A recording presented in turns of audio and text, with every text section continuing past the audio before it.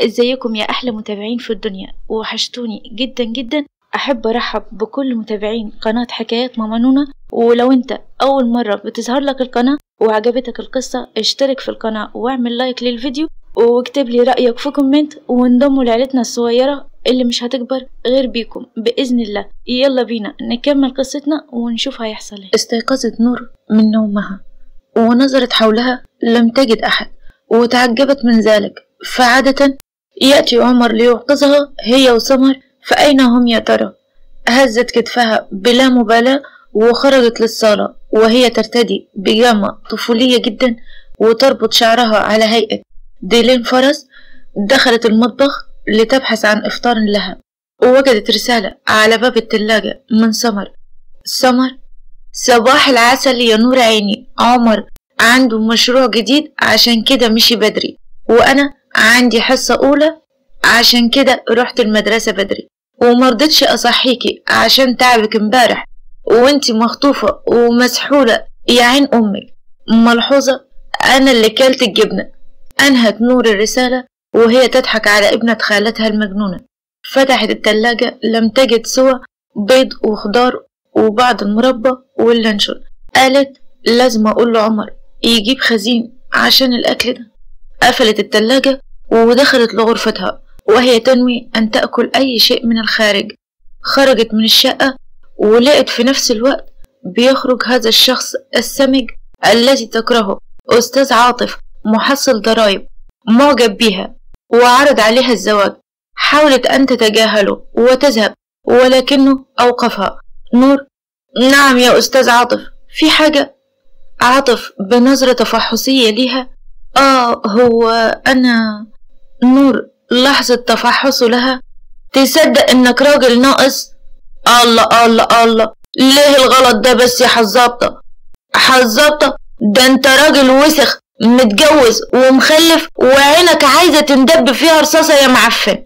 ليه كده؟ إيه اللي يعبني يعني؟ ده أنا هعيشك عيشة ملوكي ما تحلميش بيها. بكرشك ده؟ بص لها بحدة. لا متشكرين أفضلك. مش بحلم أنا بأحلام زي دي. أصل بقول المعوذتين قبل ما أنام.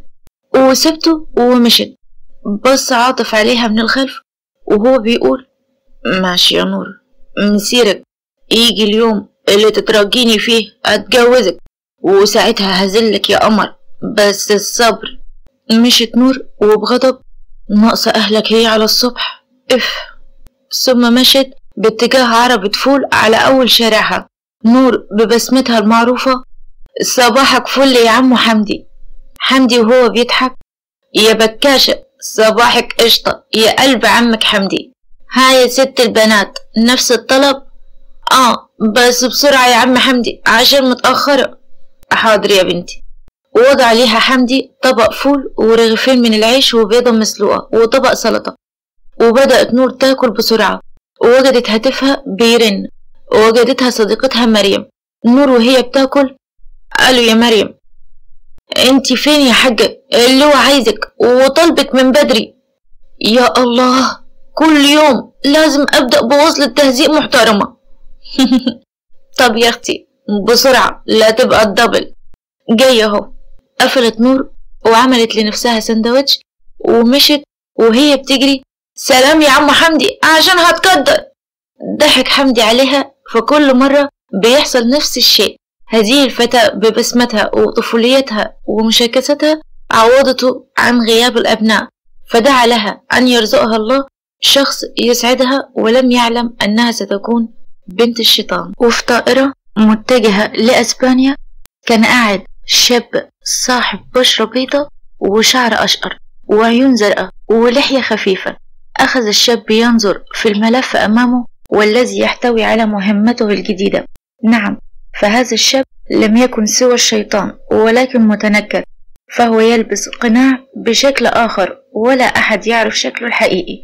نظر في الملف أمامه فمهمته الجديدة هي الميكروفيلم الذي يتصارع عليه أكبر زعماء المافيا فهو لا يعلم ما يحتوي عليه هذا الميكروفيلم سوى أنه سلاح جديد وخطير ولكن ما هو متأكد منه أنه مهم جدا وهذا بسبب رغبة كل زعيم في الحصول عليه بل وصل الأمر للقتال بينهم.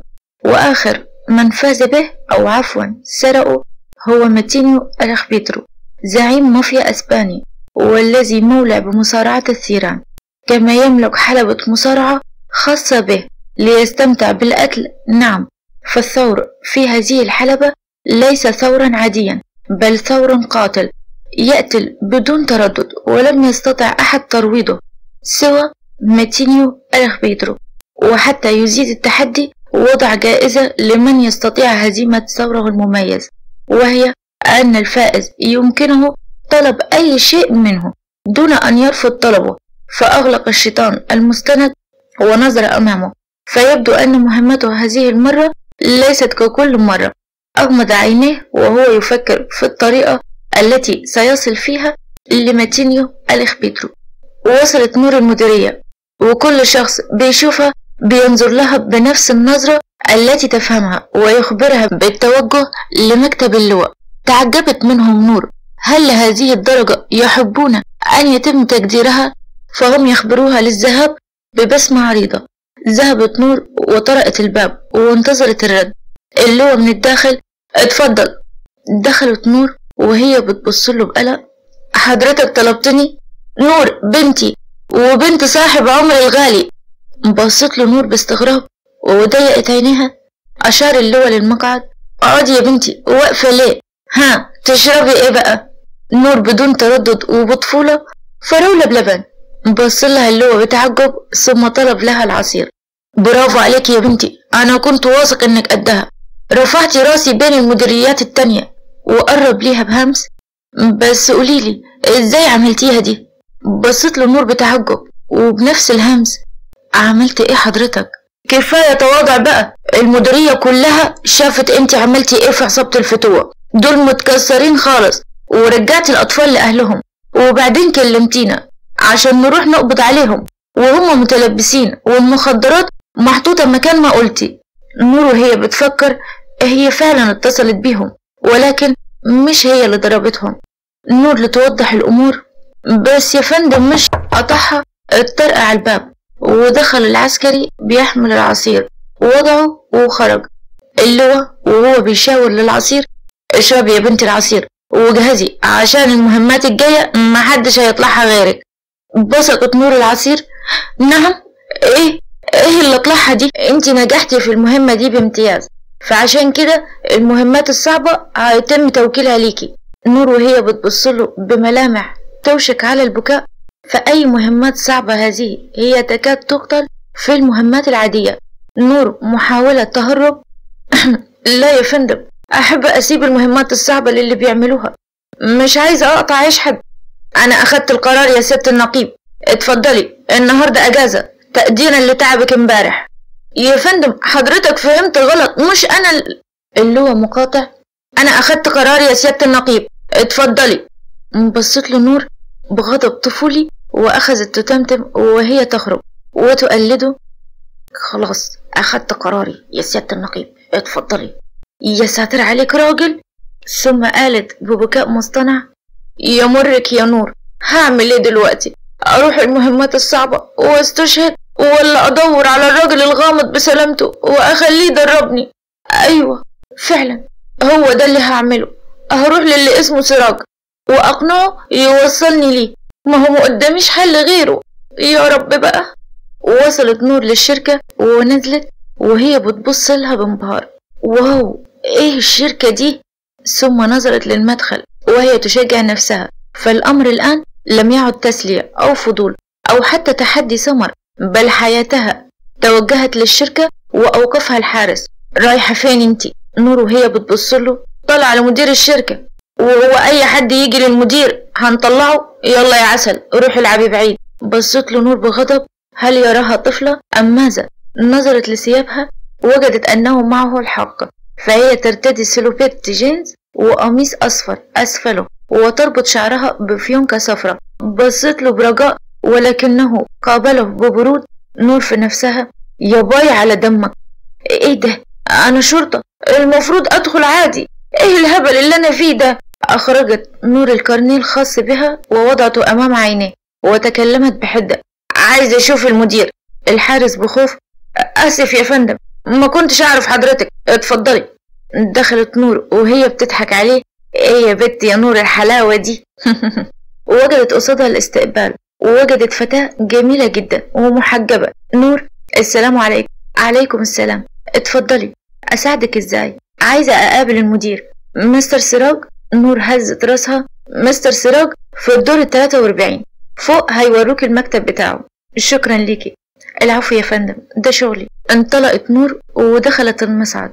ولما وصلت للمصعد وفتحت بابه شافت شيء جعلها تفتح فمها من الصدمة. وفي أسبانيا وصلت الطائرة وهبط منها الشيطان وصار بكل شموخ وركب سيارة وذهب لفندق قريب من حلبة ماتينيو ألخ بيترو. دخل وفتح حقيبته وأخرج منها أسلحة مختلفة وقام بتجهيزهم وتخبئتهم في أماكن لا يستطيعون الوصول إليها. غادر الشيطان حجرته متجها للحلبة. راكب المصعد ولكن هناك شخص أوقف المصعد. دخلت هي بكل إغراء. فمن يرى كتلة الوسامة هذه ولا يحاول إغراءه؟ نعم فالشيطان كان بشكله الحقيقي حيث أنه له بشرة برونزية وغمستين تظهران حتى إذا تحدث ولحية خفيفة تزده وسامة. طوله وعضلاته البارزة من التيشيرت الأسود ورموشه الكثيفة. نظرت له بتمني فهي تدفع عمرها مقابل ليلة بين أحضان هذا الفاتن بينما هو يتجاهلها.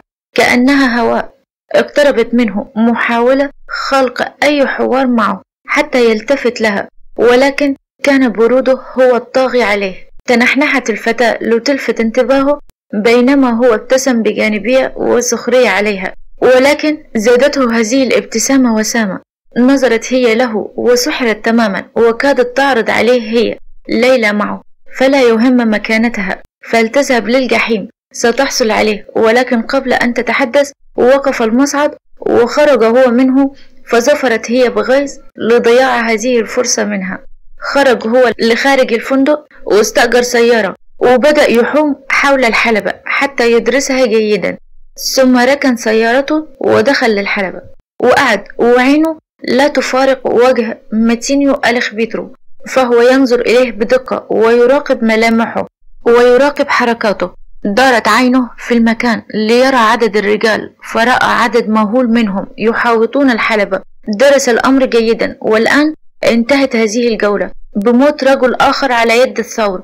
رأى ضحكة ماتينيو الخبيترو وكأنه يسخر منهم. لعدم مقدرة أحد على مواجهة ثوره العزيز. تحرك الشيطان لخارج الحلبة وهو ينوي أن يأتي لاحقا بعد أن يرتاح. ولكن وقتها سيخرج من الحلبة لمنزل ماتينيو الخبيترو رجع للفندق وتسطح على الفراش وأغلق عينيه لتأتي لأحلامه مرة أخرى سارقة النوم من عينيه. فتح المصعد لتفتح عينيها من الصدمة. فتى يقبل فتاة بطريقة قذرة في المصعد وكأنه سيأكلها. نور بصراخ بلهجتها الصعيدية فهي عندما تغضب تخرج منها لهجة صعيدية تلقائي. أخص عليكم! جليل الرباية منك ليها استحي يا وسخ إيه اللي بتعمله في البناية ده؟ أنت ناقص تاكلها يا معفن. اسفخس بينما الشاب والفتاة يكادان يموتان حرفيا من الإحراج. نور وهي بتتخطاهم. لتدخل المصعد ناس قليلة حياة بصحيح. نظر الشاب للفتاة بعد ذهاب نور بحرج ونظرت هي له بلوم وتركته وذهبت. نور في المصعد وشها كان أحمر. من الإحراج اللي تعرضت له فهي كالطفلة لا تعرف هذه التصرفات أبدا. ليس كشباب هذه الأيام يتفننون في هذه الأشياء القذرة. خلصت حلقتنا بس لسه حكايتنا مستمرة ولسه يعتبر بنمهد للأحداث اللي بجد وما خفي كان أعظم.